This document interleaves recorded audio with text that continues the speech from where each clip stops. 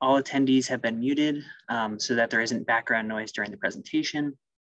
Um, and if you'd like to ask a question, uh, please enter it into the chat box and we'll, we'll wait to answer questions until after the presentation. We'll have a formal question and answer session and hopefully we'll be able to get to everybody's questions. Um, but there are a lot of folks joining us tonight. Um, it's your choice whether to share a video of yourself. Um, and if you're experiencing any technical issues, uh, please feel free to send a personal chat to me or my colleague Becky, um, Becky Kolak, um, who, and we will do our, our best to, to help you as quickly as possible. Um, this is the final lecture in our winter virtual lecture series. Uh, for anybody in the room that's joined us for all of them, congrats, we made it. Um, also, congrats to everyone in general. We made it through winter, and it's it's fitting that our last lecture is all about gardening and all things green and growth. Um, if you enjoy learning with us, join us next winter when we'll have a whole new slate of exciting virtual programs, or join us outside this spring and summer. Um, most notably, throughout May, KELT is thrilled to be part of the Birding Extravaganza, um, which is an annual collaboration between um, Coast Maine conservation groups, um, us at KELT, the Brunswick Topsham Land Trust, Harpswell Heritage Land Trust, and Maine Coast Heritage Trust. Um, and we offer events aimed at helping folks identify and learn more about our local birds. Um, and our first offering in the extravaganza is on Saturday, May 7th. You can learn all about it at uh, kennebecestuary.org slash upcoming dash events. Um, a big thank you to tonight's sponsor, the Merrymeeting Bay Trust, as well as all of KELT's members and donors who support our educational program, uh, programming like tonight's, um, but who also support the care of the 25 plus miles of trails, our public preserves, and the protection of habitat for people and critters of all sizes. Um, thank you for enabling us to do good work. Um, if you'd like to support KELT with a donation, the easiest way is to hop over to our website, um, www.kennebecestuary.org, and click the support menu to give securely online um, and then there are also options to give monthly if you prefer. With that being said, um, I'd like to introduce our uh, speaker tonight, Anna Fialkoff, and her wonderful organization, Wild Seed Project. Wild Seed Project encourages using native plants in all landscapes to safeguard wild, wildlife habitat, support biodiversity, and mitigate the effects of climate change. They're a nonprofit organization, and they sell seeds of wild type native plants. They educate the public through programs like this one, um, through its website and also through their publications. Um, and they promote rewilding efforts in Northeast landscapes.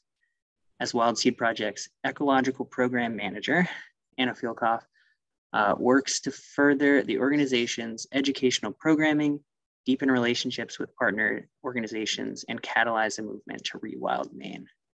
And before joining Wild Seed Project, she was most recently the senior horticulturist at Native Plant Trust Garden in the Woods in Framingham, Massachusetts, where she designed and installed native plant gardens, managed interns and volunteers, and taught the public ways to incorporate native plants in their own gardens. With over a decade of experience, Anna brings with her a deep knowledge of native plant ecology, horticulture, conservation, and ecological landscape design. She holds a BA in human ecology from the College of the Atlantic and an MS in ecological design from the Conway School. Welcome, Anna, and thank you so much for joining us this evening. Thank you so much, Riley.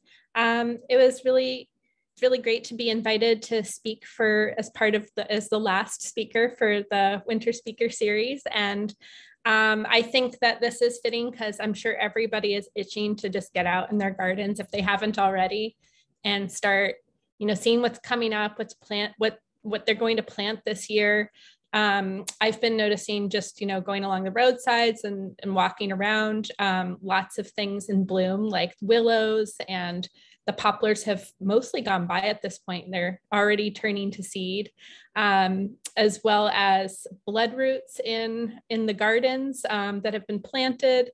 And uh, the service berries are on their way to blooming. Um, and those are one of my favorites, real harbinger of spring. So I want to chat with you tonight about what it means to be gardening for habitat and for pollinators. Um, and thank you for introducing Wild Seed Project. Um, if you're not as familiar with us, we are a small but growing nonprofit based in Southern Maine. And one, one of the main objectives that we have is to educate people about um, and inspire people to take action about with native plants and get them to plant them in their own um, yards, parks, um, uh, all sorts of different kinds of spaces, whether they be rural, urban, or somewhere in between. Um, and people with and without land can plant natives. Um, I actually don't have a garden of my own, but I have a front stoop. Um, I live in Portland, Maine, and I put native containers um, out on my steps for the season. So anyone can really get involved. You can do it at a community garden and um, just want to make sure that everybody knows that it's accessible to all um, if you want to be involved with native planting.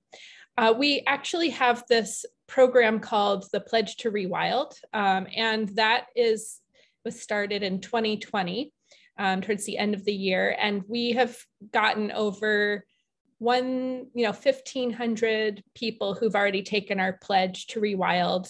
Um, and that means that, you know, it's people who want to do this in a holistic way. So um, people who take our pledge actually, you know, commit to planting native species where they live, work, and play.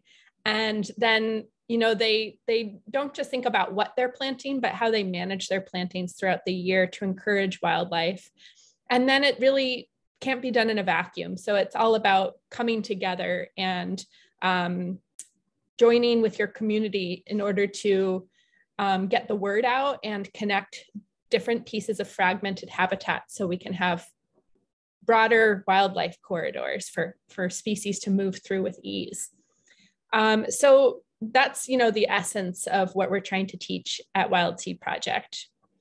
Um, and so I'm going to really talk about what we plant, but also how we manage those plantings to encourage, you know, habitat for all different species of wildlife and especially pollinators. So I just mentioned rewilding and our pledge to rewild. And I want to kind of go back and, and you know, start at the beginning. Uh, why are native plants important in the first place? Um, really, native plants are essential to our local food webs. Um, I have a picture of a native plant, a mountain laurel in here, plus a chickadee, a black-capped chickadee, and a caterpillar. And those things are all connected because um, we've really followed the work of the research of Douglas Tallamy, um, who's an entomologist at the University of Delaware. And he's written some really wonderful books that I suggest um, you get your hands on if you haven't already. It will really inspire you to plant native for a variety of reasons. But um, some of his most recent books are um, Bringing Nature Home and Nature's Best Hope. And then his most, most recent book is actually The Nature of Oaks. So um, I think, you know, if you want to start with anything, I think Bringing Nature Home is a really great introduction to why native plants. But basically, his research um, has really shown that um, insect populations are highly dependent on uh, native plants. They've been they've co-evolved with native plants for thousands of years, and in turn, um, other wildlife that eat insects are dependent on the insects. So birds are one of the major types of um, species that are actually really dependent on insects.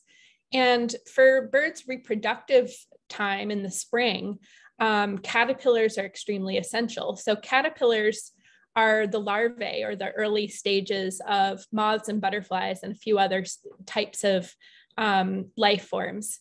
So those moths and butterflies are, you know, some of our pollinators, but also they're extremely important bird food. And recently we have had huge dramatic drops in bird and insect populations. And that just points to um, some really alarming things, you know, that we're, we're losing habitat and that habitat is the basis of our local food webs as plants.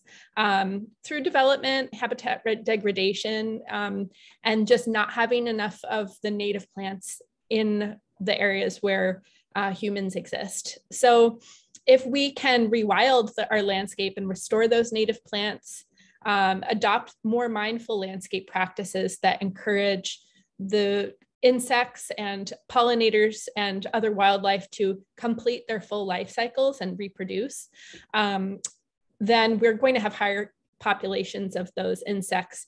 And then we can also connect those fragmented habitats to encourage that all the more. So um, that's rewilding in a nutshell. And this is the book Nature's Best Hope by Doug Tallamy. I definitely recommend reading that.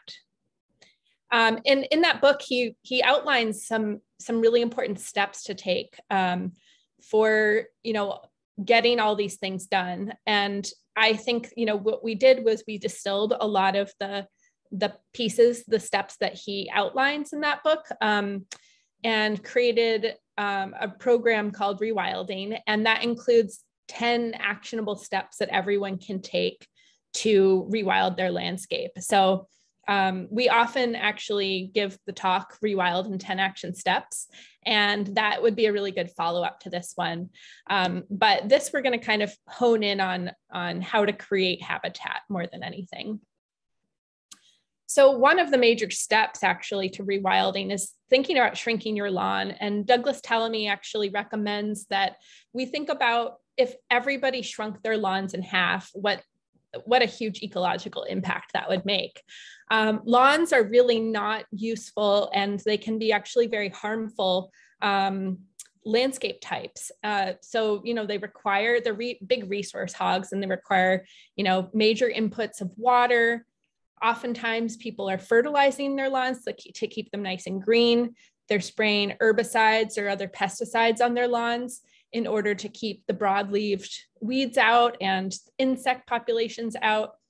And some of those things are washing out of lawns when it rains and becoming runoff that goes into water bodies and pollutes them, um, leading to a variety of different um, conditions like um, toxic algal blooms and, and other detrimental things that happen to wildlife from there on out.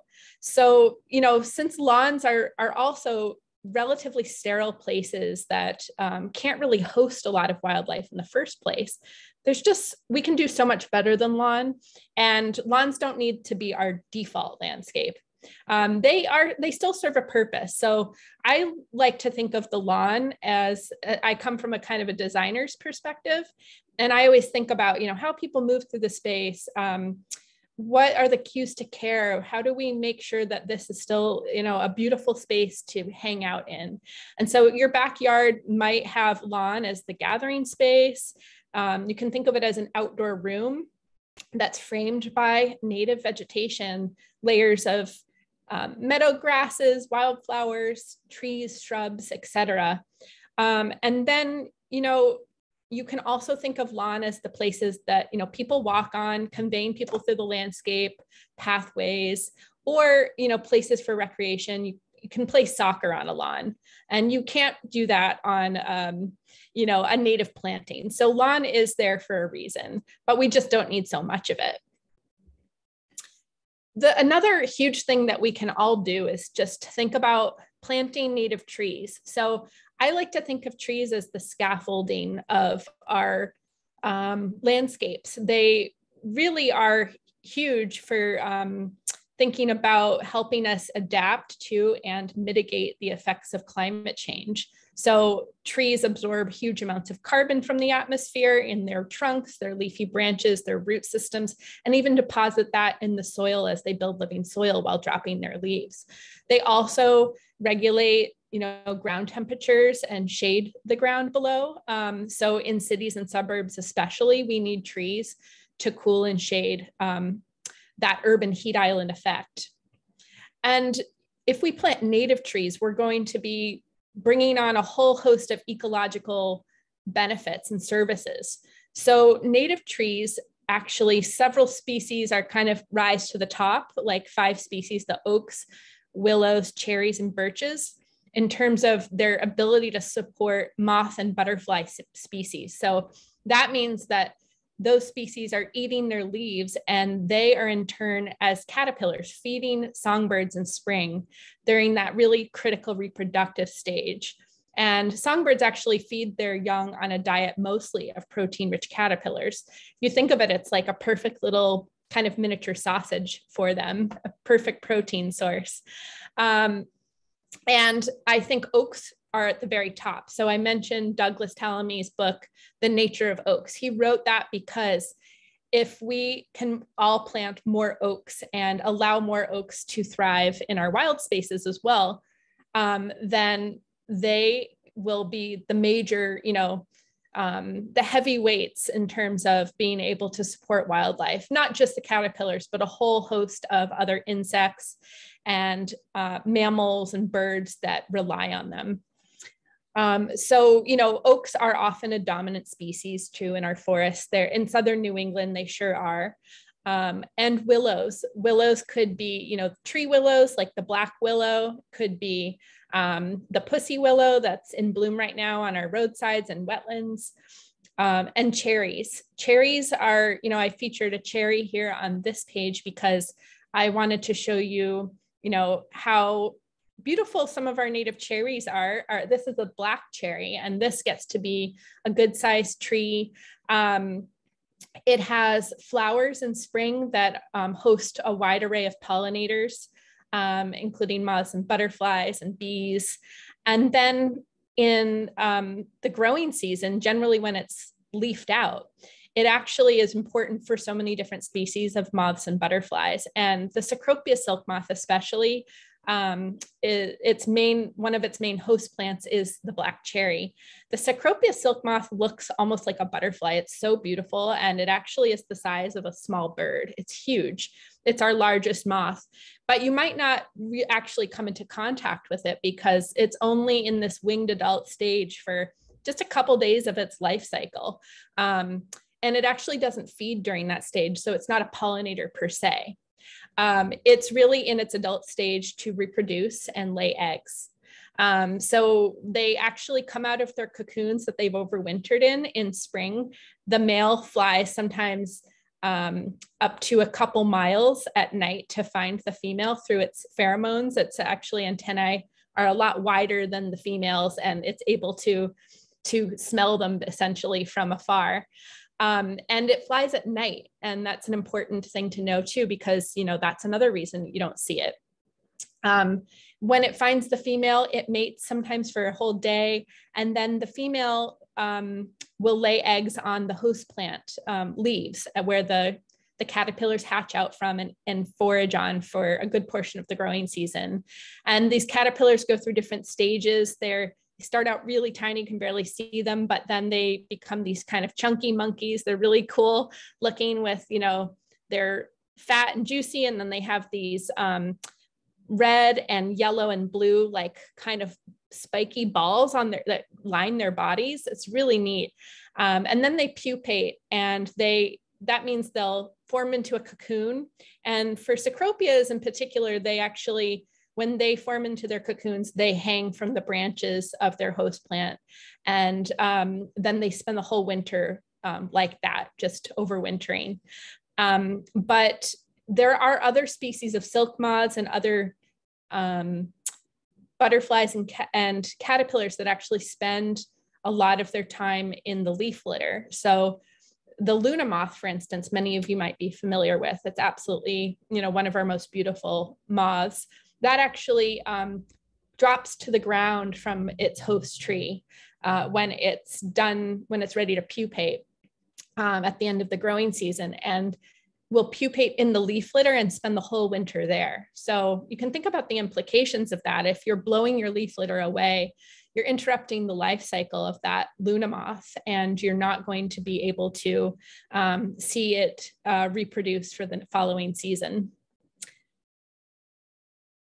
So we can also think about planting small trees and shrubs, especially. Those are also, you know, many of them are what you would Doug Tallamy would call keystone plants that host a ton of different moths and butterflies and other insects. Um, and I like the idea of planting some of these small trees and shrubs that are especially you know, tolerant of salt and heat and really tough urban conditions as small street trees or shrubs. So the beach plum, I think, makes a, an ideal street tree. Um, or growing on the side of a driveway where it might get exposed to salt spray and and um, other kind of pollutants. Um, but it also flowers in spring and hosts a wide range of pollinators. Um, it's fruit is actually, you know, it tastes just like um, a regular plum that you get, would get from the grocery store, but it's, it's much smaller. It's about the size of a, a large cherry. And um, it can become more of a, um, you know, rambling shrub in its natural habitat. It actually grows um, on beaches and dunes um, sand dunes straight out of sand and will actually form a suckering shrub that's nice and dense and really important as cover for birds and other wildlife and small mammals. So it's a really powerful wildlife habitat um, tree, um, but you can kind of limit up to be a more small, charming tree, which I like the idea of, and and um, you know be able to layer other plants underneath it. So um, we actually came out last year with a guide on native trees called Native Trees for Northeast Landscapes, and it goes over 31 species of trees, small, medium, and large, and as well as many trees that could be used as street trees. Um, and really, it's not for identification, but it's really a guide for figuring out where to put these trees in the landscape, um, their ecological benefits, and just showcasing their beauty and their form. So I recommend people get a hold of that. Um, we are actually coming out with a native ground covers for Northeast Landscapes Guide this spring, and it's actually at the press right now. I'm very excited that it's going to print. So we have the trees, the shrubs, and the, the ground layer. We also have a lot of different species in our native plant palette that are very powerful wildlife um, plants. And asters and goldenrods, a lot of the plants, especially in this fa plant family, which is the, the aster or composite family, are often thought of as those keystone plants too, where they host um, hundreds of um, species of Lepidoptera or those moths and butterflies on their leaves when they're caterpillars that feed on them as caterpillars.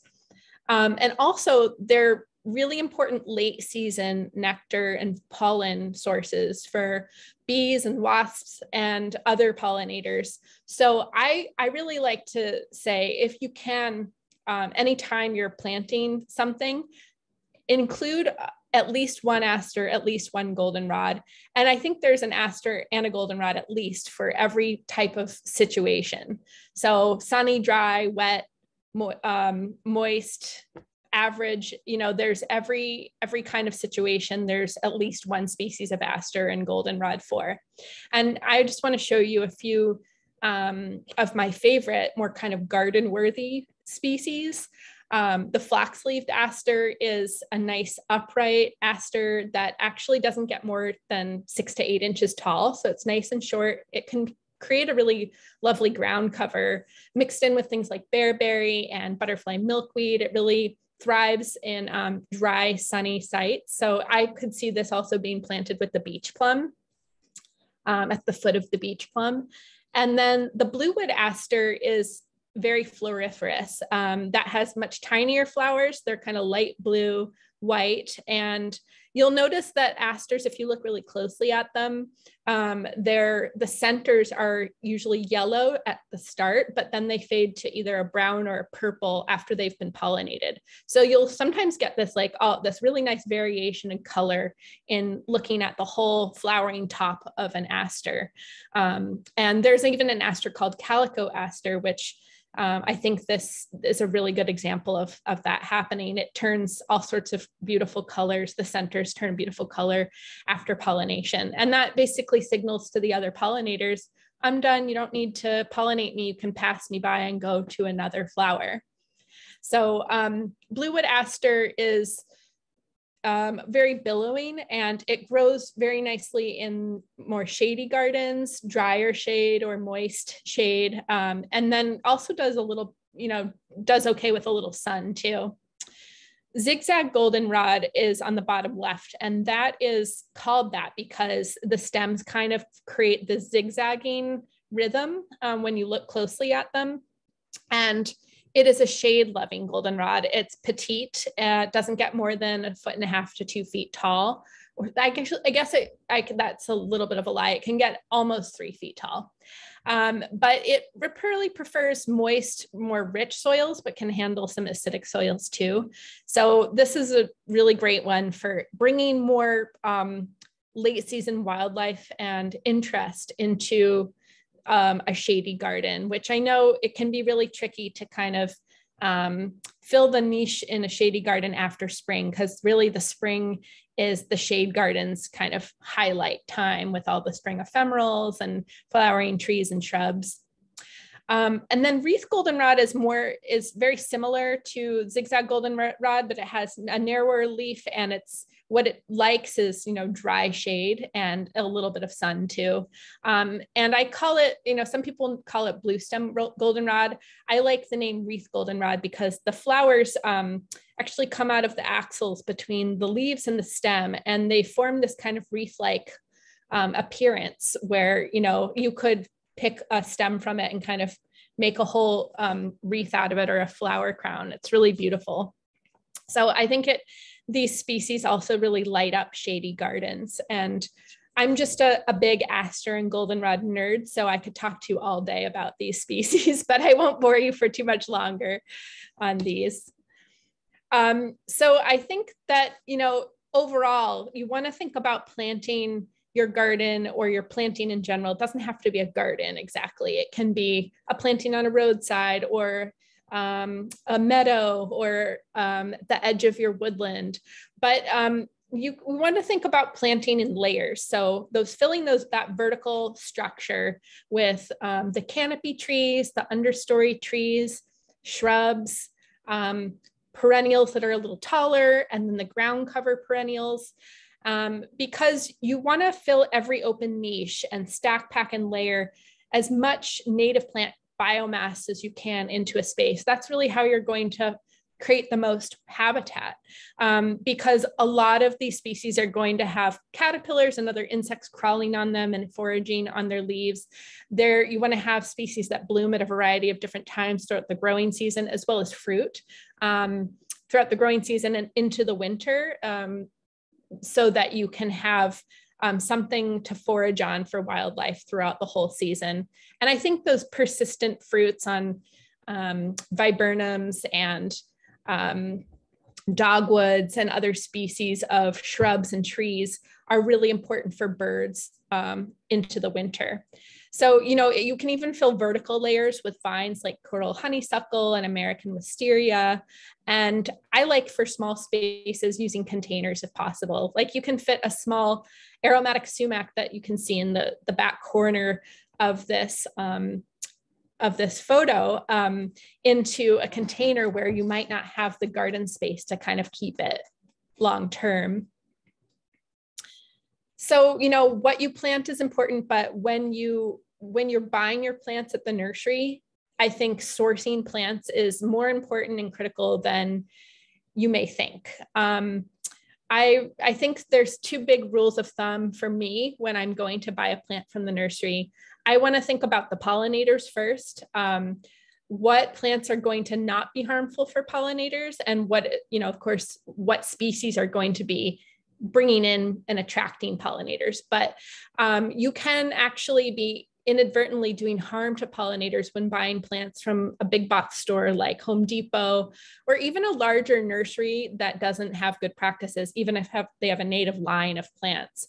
So um, most nurseries use these really uh, nasty pesticides. They're called systemic pesticides called neonicotinoids that um, they can spray on the plant. Um, some get injected into trees, um, but these actually can remain, they go throughout the whole vascular system of the plant and remain in plant tissues for years after you've taken it home and planted it in your landscape.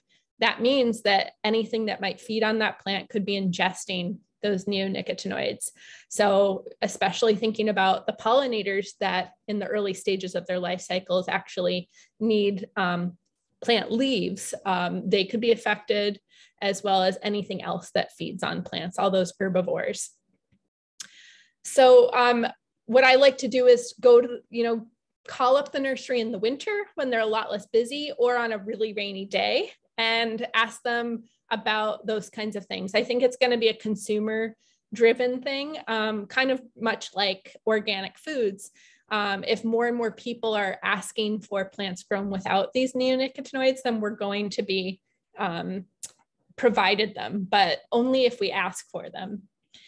And then I think you know thinking about planting for genetic diversity and resilience is important too and that's something that's usually on the bottom of people's list.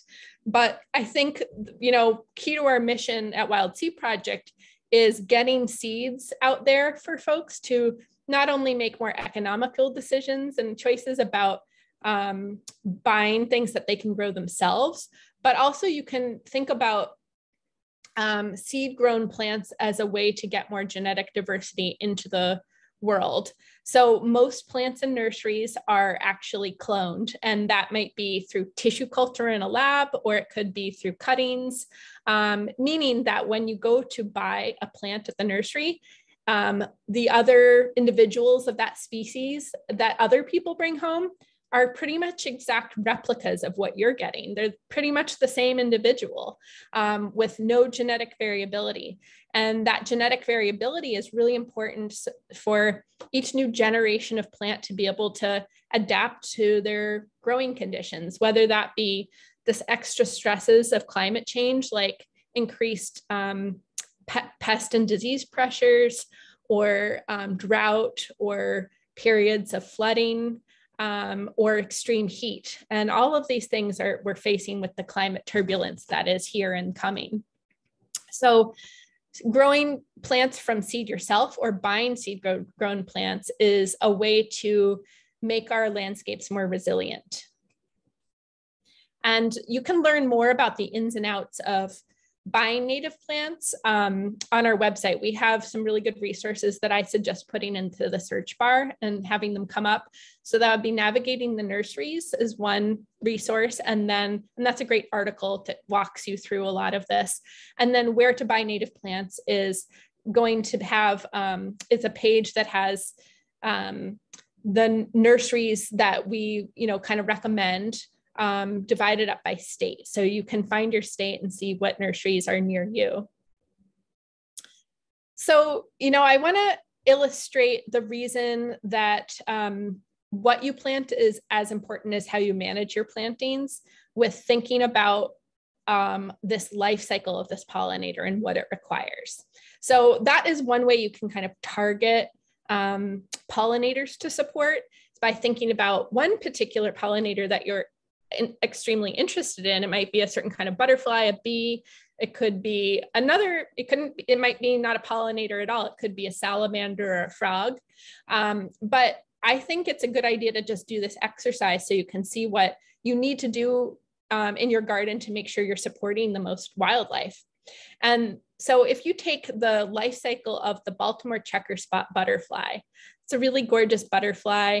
Um, and it actually has only a few different host plants. The white turtle turtlehead is its main host plant and in the Northeast. Um, and the white turtlehead actually notably is, you know, really great pollinator plant for bumblebees specifically, because if you look at the shape of its flowers, it has these kind of tubular, uh, or not tubular, but like these closed flowers that are really hard to pry open the petals and get the nectar reward inside. So bumblebees are, you know, um, one of the only pollinators that can that are strong enough to get in and get that nectar source.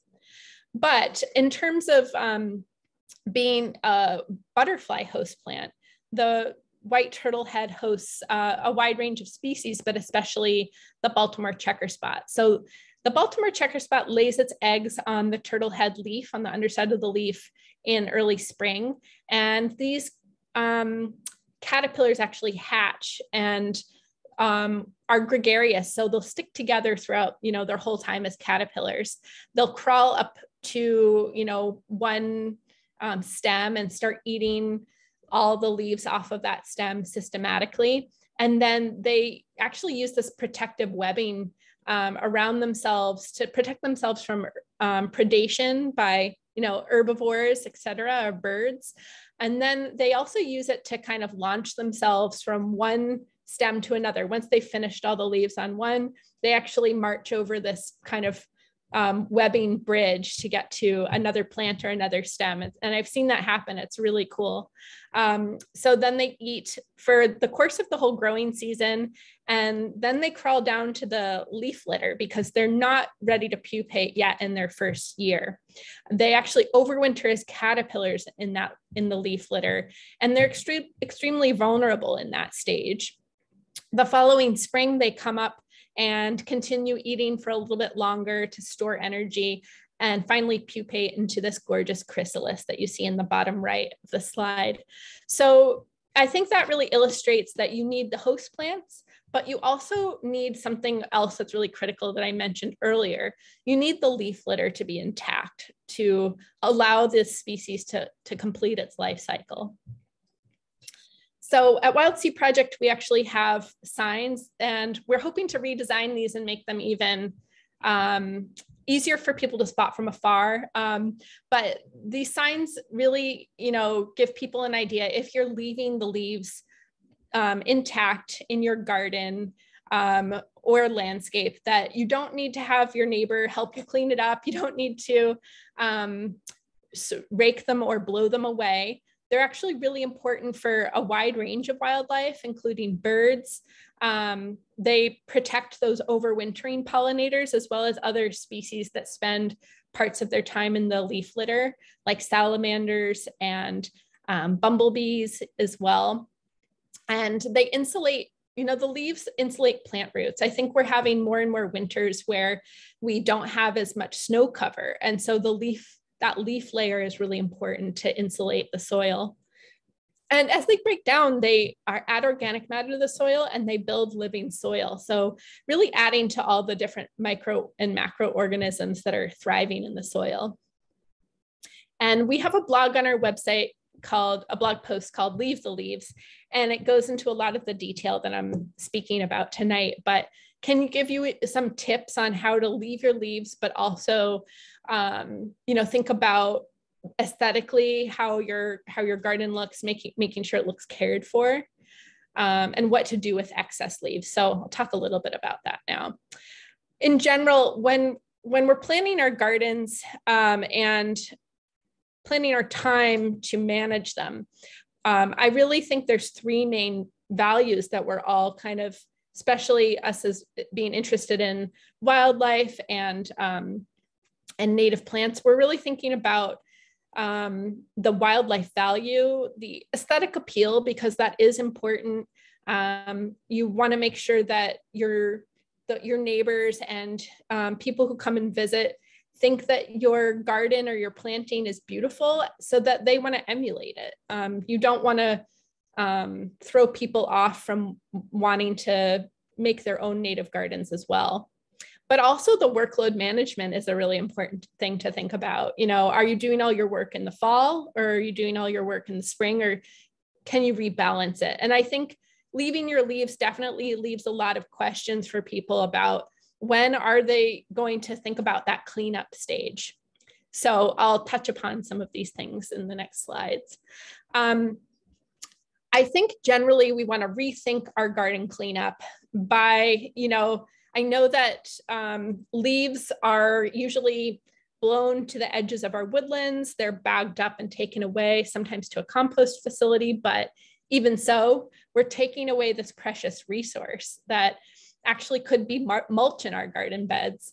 Um, and I know that many of us feel like, you know, there's not enough space to accommodate all the leaves that fall from the trees. But I want to flip this because when you think about um, trees and you you change your values to value the native plants and trees and the wildlife in our landscapes there aren't it's not a matter of that the trees are producing too many leaves. If we value our trees we want to accommodate those leaves and all the natural processes that go with them. Um, so i think valuing trees means making sure that they stay there not taking out mature trees allowing younger trees to grow healthfully and then also you know, if we can shrink our lawns and reduce pavement space, those sidewalks, those driveways, the roadsides, those parking lots, then we will have more planting beds and areas to accommodate the leaves to go. So especially under trees, um, I think thinking of leaves as mulch is perfect because if you think about it, many of those pollinators drop down from the trees um, and actually spend the winter or some part of their life cycle in the leaf litter. Um, so if you have a tree, under the tree is the perfect place to leave those leaves. Um, we also might still have an excess of leaves or a feeling of an excess. So after you've you know, taken the first step to reduce your lawn, created more planting bed area, maybe reduce pavement because that's also area that's not going to absorb stormwater as well, and that's going to create more runoff. Um, you might still have more leaves than you can accommodate. So you don't want to smother your plantings with too many leaves. Um, but you can compost your leaves. That really shrinks them, shrinks the volume of your leaves kind of dramatically. And this is kind of a fun thing that when I, was a, the horticulturist at Garden in the Woods for a period of time in Framingham, Massachusetts, that's Native Plant Trust Botanical Garden. And we grew all native species there. And we worked with volunteers to create this like leaf fence um, at one. And uh, we filled these kind of chicken wire columns with um, leaves. And that was a good way to kind of take up the extra leaves that we had. Um, and then they broke down so fast that we had to keep filling them. And it, you know, you find really quickly if you whether you put them into a pile or into, you know, a or creative situation like a fence, um, you actually have a hard time coming up with enough leaves to um, to keep. So I find I actually find leaves are a high commodity. They I go to my neighbors' gardens and try to find more leaves. Um, and because they keep breaking down, but they it can become a living fence over time. So as the leaves break down, it creates organic matter and a good compost and native species like um, celandine poppy or wood poppy or asters and goldenrods can seed into at least starting out the lower spots where the soil has started. So I, I really like thinking about, you know, getting creative with uh, all the different things that come that we usually think of as waste products that come from our gardens and doing something interesting with them. Another option for kind of consolidating those leaves is to shred them. And I, I know this has become more popular recently.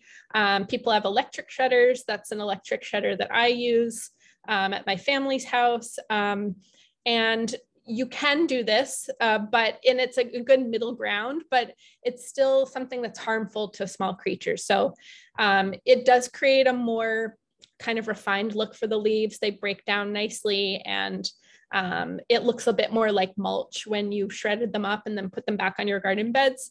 But usually, if you're doing this in the fall or early spring, um, you are going to be compromising some of those small creatures that need to be not disturbed in the leaf litter. So um, definitely consider that. And then, you know, I think thinking about where the leaves blow um, is important. Um, so I think when when we're when we're trying to replan and um, reconfigure our workload management at different times of year and think about fostering wildlife, we do have to kind of rethink, you know, just how we, if we're going to clean up uh, and where to put our resources and energy. So usually the leaves um, I find accumulate in certain areas more and then kind of blow off other areas. So those more convex um, hills and um, bumps in the landscape are places where the leaves don't stay as long. Um, they don't accumulate. And so I think you can have certain types of plants, um, like the, the plants that are ground covers that are really low or ground hugging or more delicate that would have trouble coming up through a thick layer of leaves planted in those kinds of areas. And then the in the bowl shaped or the concave, you know, valleys and um, low areas in the landscape where the leaves tend to accumulate, um, that's where you know you might plant more strong stemmed um, plants like blue cohosh and comb flowers and bug banes, things that can you know pierce up through a thicker layer of leaves. Um, so that's one strategy for you know not just um, consolidating your leaves or but thinking about you know there are some areas where the leaves are going to kind of blow into and stay and be in, in an excess. But in the in the spring, I think that's when I usually take time to remove the leaves from where they've gotten stuck in shrubs or behind rocks. And I just do it very carefully right before we have too much emergence coming up. So I'm not crushing anything.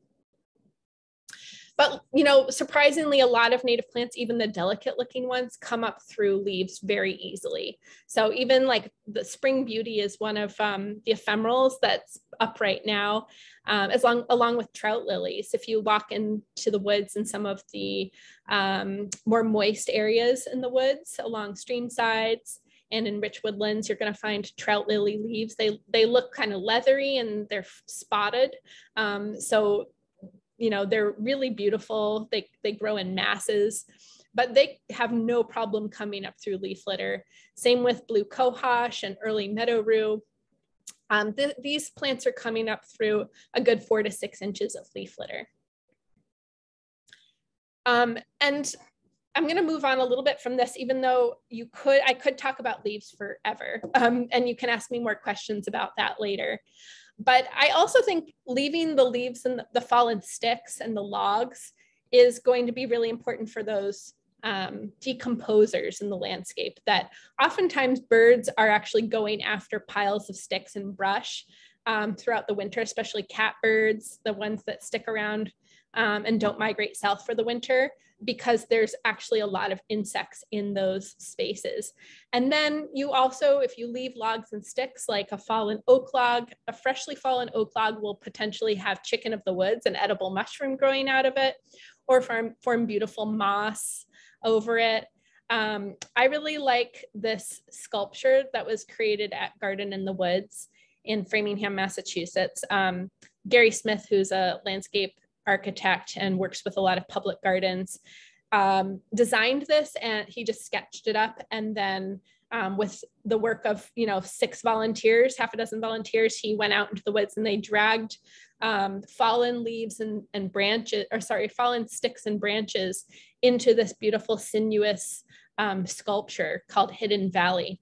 And that kind of weaves its way up and down this um, this little dell and it shows off the topography of the landscape, but also shows people that you can kind of rearrange if you have a woodlot or you have a section of woods in your backyard, you can rearrange the, the um, woody debris without cleaning it up too much. You can make it look intentional, um, but just not take it away because you don't want to take that stuff away. It's really important for a wide range of species.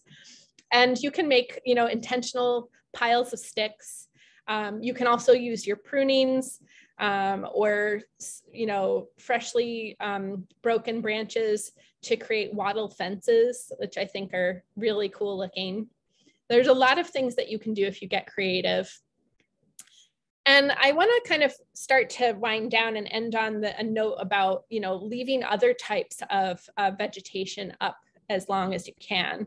So I, I think, you know, we could stop mowing our landscapes um, as much as we do and convert them into layers of native plants like meadows or woodlands. Um, there's so many beautiful species that could take the places of our lawns. Um, and when we do that, I think we can leave um, a lot of those that vegetation up over the winter, the grasses, Coneflowers and other um, wildflowers that have seeds are really important for finches and other small birds that need seed over the winter. Um, and they also provide some places for cover um, for small mammals, etc. Um, you know, if you're thinking about uh, whether a plant is going to start seeding around your garden, you might want to cut it back. Um, but if you want a plant to do that, uh, like milkweed, I think we can't um, we can't have too much milkweed in the world. And, you know, maybe for a larger space, the common milkweed, we can let seed around. And for a smaller garden, we can have things like butterfly milkweed and swamp milkweed, which are more tidier, garden friendly plants.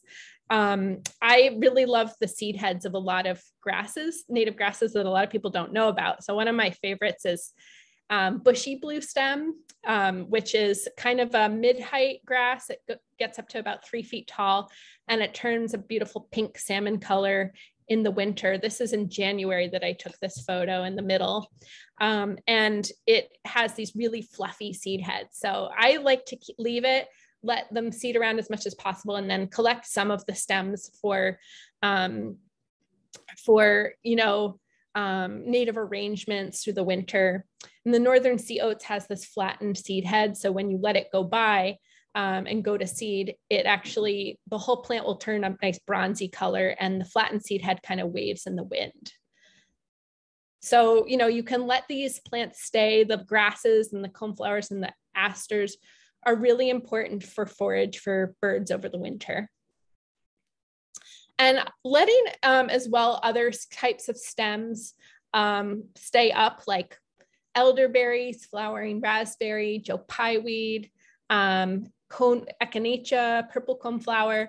Um, letting those kinds of plants stay up is important. Those are species that have kind of hollow or pithy stems. And a lot of our native bees will nest in these stems.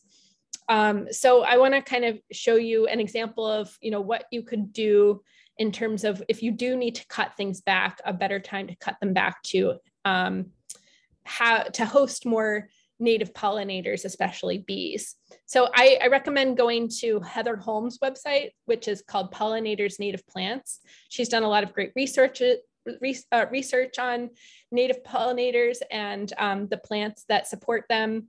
And she has some great infographics on, you know, how to think about when to cut back, when to not cut back. Um, so generally for bees, they actually will um, uh, different species are uh, going to have different timelines, but bees will, you know, nest in the, the adult bees will nest in the stems of some of these plants over the winter. And then they'll lay their eggs in these plants at some point during the growing season. So at any given time, there could be bees nesting in these stems. So a good, you know, rule of thumb is to wait until we have um, about five days in a row that are above 50 degrees, even at night, until we cut back uh, those plants. So it might say for a purple coneflower, for example, you can cut them back at kind of varying heights to make sure that you're accommodating different species of bees that are going to be in there.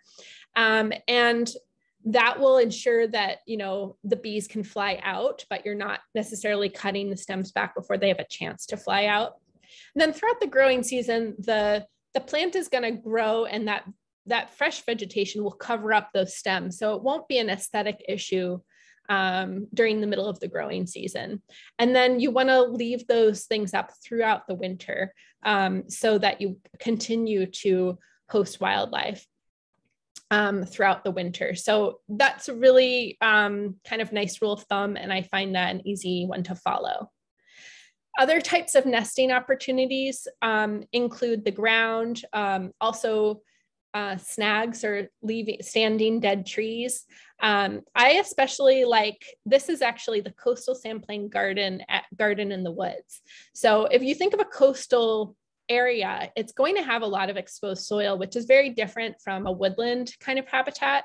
But a lot of times that goes with the plants that grow there, um, you know, that like sandier exposed soils that actually support the pollinators that thrive in that type of habitat anyway. So in in those kinds of soils, um, the there's uh, pollinators like the digger wasp, which I really love watching. It's not a, one of those wasps that stings you um, really readily. That would be like the paper wasps. Um, but this one is a ground nesting wasp, and it actually, I see it all over our native spotted bee balm, which is a really cool looking native plant. It's a very Dr. Seuss like native plant, but it, the, the native um, spotted bee balm has these little yellow speckled flowers and these large kind of pink bracts around the flowers to draw in the pollinator.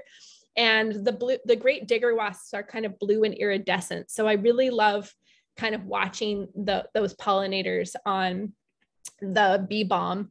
And I think that's kind of another piece of, of native plant gardening is that you have these beautiful plants, but then you also have the pollinators as another layer of interest and something to watch and observe. So that goes much more beyond having an ornamental, beautiful, big flower with nothing landing on it for forage um, or, or pollen.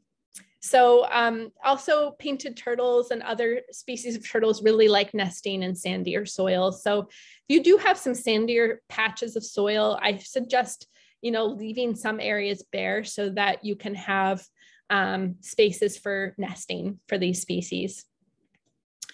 And then um, overall, I think outside of the gardeny things that you're doing, you can also just do some very low hanging fruit, like um, to just add opportunities and decrease harm for all the different creatures that would be in your in your garden um, or moving through your garden. So that might be just adding window well covers to your basement windows, just so small creatures like frogs and salamanders don't fall in and get trapped. Um, you wanna make sure that they don't have a chance to get in at all. Putting low or motion sensor lights out rather than big blaring, you know, street lights or um, sidewalk lights is really important because not only for our night skies to be a lot darker, but um, a lot of our moths actually fly at night and they're that's when they're looking for their partner to, to reproduce or mate. So if they get distracted by a light then they're going to have that cycle interrupted also having any kind of water feature is nice it can be a still water feature but if you have something that's bubbling or has some sort of sound um, then that's actually going to attract migrating birds in the spring and the fall and to your yard. And then in turn, if you have native plants to um, for them to feed on, then um, they're going to have all the more reason to stay. I really like this example that I have on the right. This is um, somebody who's really done a great job rewilding their yard in Western Massachusetts. And they actually created some um, some ponds and a couple layers of ponds. Actually, they feed into each other. Um, but first, the they channeled the water from the roof to come off the roof into this little satellite dish, and that creates a nice water feature in and of itself. And then it drains into the pond, and the pond is um, both filtering the water and actually hosting a lot of habitat for birds and snakes and salamanders and frogs and all sorts of different wildlife. Um, so with they have native plants planted all around it. So I really like kind of looking at this kind of systems approach. At the end of all this, I think the thing that we can do to start to spread the word is to maybe put up um, yard signs that describe you know some piece of what you're doing letting people know that this is intentional and um, that you know you have very specific reasons for leaving your leaves. Maybe passersby will take interest, maybe even your neighbors. I think um, sharing what you are doing with people in a non confrontational way is the way to go. Um, and I think the more of us that can join together to create whole neighborhoods that are rewilded um, is best because then we'll have these connected pieces of, of habitat um, for pollinators and other wildlife to move through. So I hope everyone tonight feels inspired to take the pledge. You can visit our website to do that. And I'll just leave you with a few um, resource slides. I'll breeze through because I will send a PDF. So don't feel like you have to write all this down. I'll send a PDF of the presentation afterwards that um, maybe Riley can distribute for me. Um, and there's a sneak peek at our native ground covers guide. Um, it's coming out pretty soon. So um, members will actually have it sent to their address directly, and then otherwise people can purchase it from our website. So thank you, everyone. I'm um, open to questions now. Awesome. Awesome. Thank you so much, Anna. Um, yes, absolutely. I will be sending out all of these resources and uh, the PDF of the slides. Um, we'll move into the Q&A session now. I'm aware of the time, so if anybody has to leave us soon, feel free to go. Um, and it's been so nice to host you. Anna has graciously said she'll stay on for a couple of minutes extra because um, we're, we're definitely going over time now. Um, Sorry about that. no, hey, no worries, no worries. Um, so we've been collecting questions both before and during the um, lecture. If you have any now, um, feel free to type them into the chat. Um, we're Becky and I are working in the back room, and we're we're collecting all of the all of the questions and organizing them into themes. And uh, one theme that um, has popped up is trying to trying to find the balance between rewilding principles and controlling for invasives, as well as like unwanted insects and animals. Um, do you have any tips? I guess we'll start with with invasives. Um, do you have any tips for getting rid of invasives like a barberry um, and helping native plants compete with those? Yeah, so I think that it, goes hand in hand. I think so.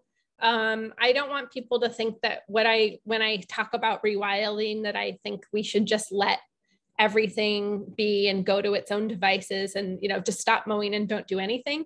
I think there are some there's different strategies for different types of landscapes and different goals. So um, I think that if you do have invasive species in a place that you would like to rewild, it's really important that you take care of the invasive species before you even start planting. So that means I think there's several mechanical methods that I really like that a homeowner could use for removing invasive species. And it really depends on the particular plant um, and it's the way it reproduces and what it requires to be completely removed from a site. So I, there is a really good resource on the Native Plant Trust website. I think if you just search um, invasive species on their website, it should come up.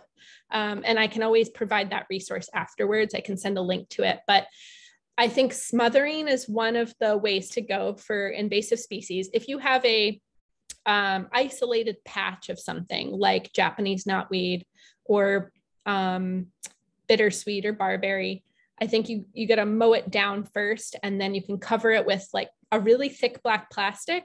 Or I've even heard of people using um, old carpets, which are even thicker than black plastic, and you know tipping them upside down or flipping them over, um, and that can be a great way to to do that. Now you need to do that for you need to smother it for at least a, a year. Some for some species it might take even more than that. Um, some species you can mow persistently. Um, and that means mowing at least every couple weeks during the growing season. And a lot of these mechanical methods do take a lot of time and attention. So it's really important to know. Um, with some, that might be some for something like Japanese knotweed, mowing persistently. It does have a really deep root system, and it might take mowing for several years every couple weeks. So it's tough stuff. Um, you can do you know pulling um, pulling bittersweet seedlings definitely for like your garden if you have seedlings coming up you know you want to learn to identify those seedlings um, once when you start to learn all the different species you can start to get a sense for what something looks like you know when it's a seedling when it's a um, little bit you know older and when it's a mature plant. So first you might start seeing bittersweet in some natural areas, you know, completely growing around a tree. As it gets to that stage, you you really don't want it to get that late in the game before you start removing it. But if it gets to that stage, you might have to cut that down or just cut it, but not pull it down because uh, you can't really do that. And then um, try to mechanically remove it, or sometimes people do use herbicide. I, I try not to advocate for using herbicide if possible, but um, sometimes in some circumstances, that's probably the only way to get rid of something. Um, and then for Japanese barberry is relatively easy to pull, so is glossy buckthorn. Um, but there is a nice method for glossy buckthorn that was developed called buckthorn bags, where you do cut it um, if it's really large down to like waist height. And then you cover it with a, a just a, a big pla- it's like a this heavy duty plastic bag. And it basically cuts off the plant's ability to you know regrow and photosynthesize from one year to the next so you can leave it like that for several years and let it just die naturally and that doesn't disturb the soil and churn up more weed seeds it's a whole topic unto itself um, and I'm not an invasive plant expert, but that is a really important thing to do before you start planting. awesome. Thank you. No, that was a very thorough answer. Um, Uh, how about for uh, like controlling for populations of, of pests like ticks um, yeah. without without mowing? Well, so okay, so I think there's uh, like a broader ecological perspective that I take on that. Um, so I think rewilding, I don't think that's necessarily going to increase like the number of ticks overall in the landscape. There's a lot of different factors um, that are increasing populations of ticks, like climate change, warming climate. They're able to move more northward. Um, we have high populations of deer and the white-footed mouse because we have a lack of predators in the Northeast. Those are some species that actually transport ticks. So um, I think if there is space in the in natural areas, hunting deer is actually a really good thing to do um, to try to you know lower the deer populations in lieu of a predator. Um, I also think increasing habitat and large connected pieces of habitat is going to bring more habitat for predators because a lot of predators need bigger patches of habitat in order to to you know um, for their territory. So that would increase you know um, hawks and foxes and um, coyotes. And unfortunately we don't really have wolves anymore in the northeast except for the coyotes are mixed with wolves. So i guess that technically counts um, to to prey upon some of those species that that move ticks around. And we also would have more habitat for possums, things like that, that actually eat ticks um, if we have more habitat. So having more habitat does not necessarily increase the presence of ticks, but having you know taller vegetation closer to your house, um, yeah, you might become in contact with them more often. And um, I think like, you know, just make sure that your paths are nice and wide, like three to four feet. So if you do have a meadow and you have a mowed path through the meadow, make sure it's a nice wide path. So whenever you're going through the meadow, you're not always coming into contact with, with um, ticks.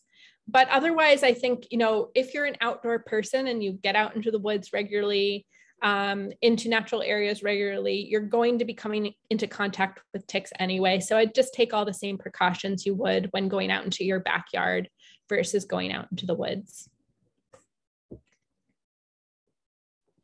Awesome, awesome, thanks. Um, there was a question uh, that is uh, Wild Seed Project specific, and this one might be an, an easy one to answer. Um, mm -hmm. Someone was on the Wild Seed Project website to order seeds, um, but most of the choices said that they're out of stock right now. Um, are those going to be restocked or is there, are there any other wild seed stockers you would recommend? Yeah, so I think that um, a lot of our seeds are out of stock because we're replenishing um, after, like, our main seed season that we like to promote is the late fall through winter. So, about mid November through January.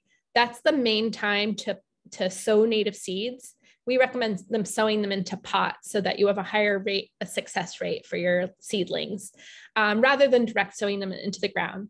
And most of them need a cold win, uh, winter in order to break their dormancy, break their hard seed coats, and to start stimulate germination. So if you actually planted them or sowed them in the spring, they wouldn't have that winter and they probably wouldn't come up until the following spring. You'd have a, a whole year gap. So now is the time to plant, you know, certain species like some asters and um, coneflowers and lobelias and things like that can be planted still now um, into the end of April or so. But most of our um, native plants, actually, it's best to sow them in that fall winter period. Um, so more will come back in stock starting um, in the summer and then through September and October. And then we'll have the most plants in stock in the fall. Awesome. Um, one, uh, a question came in uh, from when you were talking about, and I'm going to mess up this word, the neonicotinoids. Actually, no, I think I got it. You got it. um, do, do seeds from plants treated with neo, neonicotinoids still have that pesticide in them? That's a good question. I don't know. I don't know if there's been research on that at this point, so I can't really answer that. But um, I'm I'm guessing it probably wouldn't. Usually, the fruits of a plant um, don't always contain as much of a a toxin like lead, for instance. Um, not that you would want to eat a, the fruit of a plant that um, is growing in, in soil that has is contaminated with lead, but the lowest levels of lead are going to be found in the fruit usually. Um, I don't know if that is the same for neonicotinoids, but uh, it's an educated guess. But I definitely wouldn't. Uh, I would stay on the safe side no matter what, um, and just try to get better sourced plants because those neonicotinoids are, you know, they're they're really responsible also for they're one of the things that are responsible for colony collapse for bees. And um, a lot of uh, the downfall of a lot of our pollinators. So just stay away from them in general.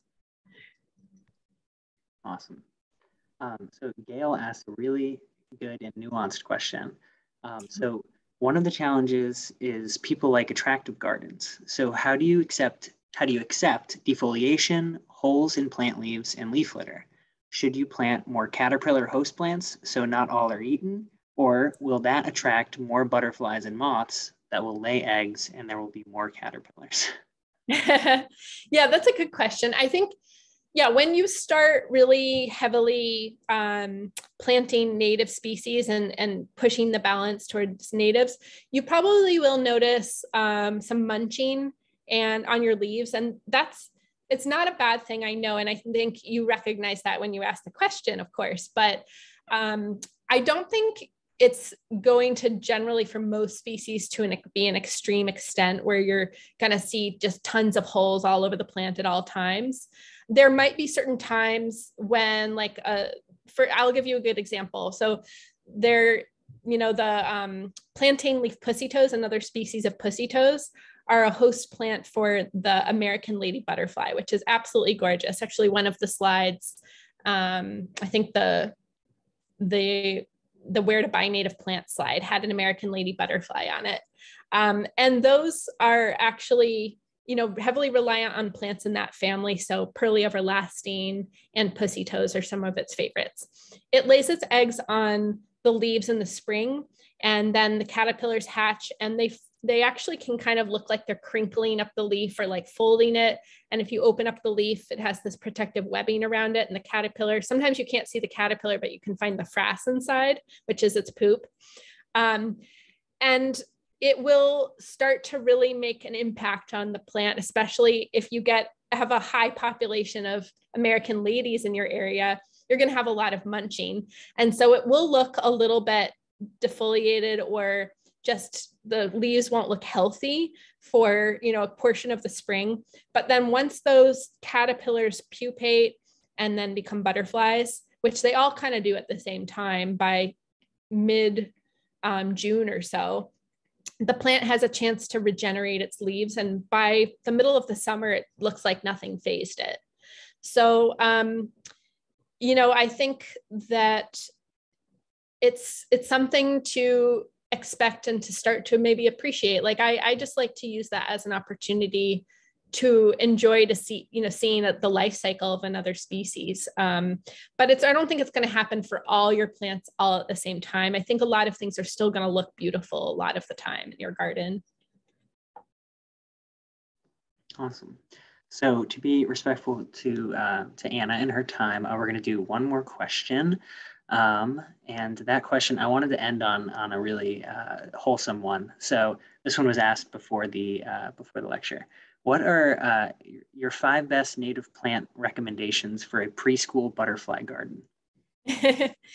yeah, that's um, that's a really good question. I think there's so many fun plants for school gardens in general, and so I want to point you to a resource, another resource on our website it's called Favorite Plants for Schoolyards. And um, it's in our plant list. So if you just uh, search that in uh, once you get to our website, you should find it. And I'll post all these resources. But for a butterfly garden specifically, I think look for things that are showy and beautiful and kind of um, um, going to be eye catching for kids, but also that are going to have a really nice story to go with them. So I think um, any milkweed would be great for a school garden, but um, for like a sunny, drier site, I would pick butterfly milkweed, which is has bright orange flowers and it's a little bit more tidy and short.